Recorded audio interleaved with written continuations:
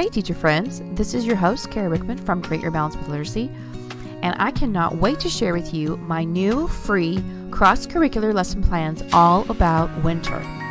These lesson plans include objectives, suggested mentor text, anchor charts, skill cards, writing activities, interactive notebooks.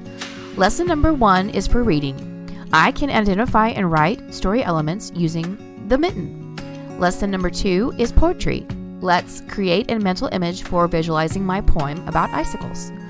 Lesson number three is about writing. I can sort and write adjectives to describe my snowman. Lesson number four is about math. I can add two numbers together to make a sum up to 12 using the, the game Bump. Lesson number five is about science. I can research how animals adapt and hibernate in the winter. Lesson number five is social studies. I can research about a famous American such as Snowflake Bentley. All of this could be yours if you sign up on my email list to get your free lesson plans. Click the link below.